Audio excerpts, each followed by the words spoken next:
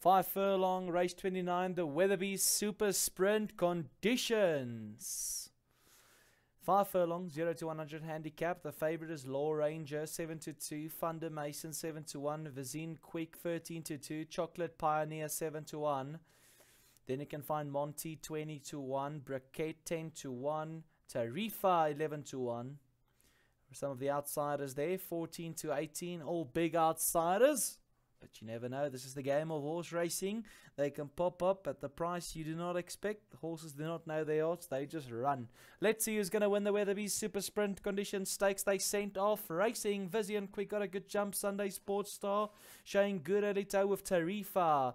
On the what's the outside? My Mom Gert also up there showing good early toe. Briquette Monty further back. Chocolate Pioneer in the all blue. Sword Squirtin. That's in the black in the black stars. Pink Silks further back. Thunder Mason. Law Ranger the favorite is trapped at the back of the field, but he's starting to cruise a bit, a little bit closer. Sue's Moto's at the back of the field. Two and a half to go. My Mum Gert in front. Duchess Baraba is back in second. Then Bossan.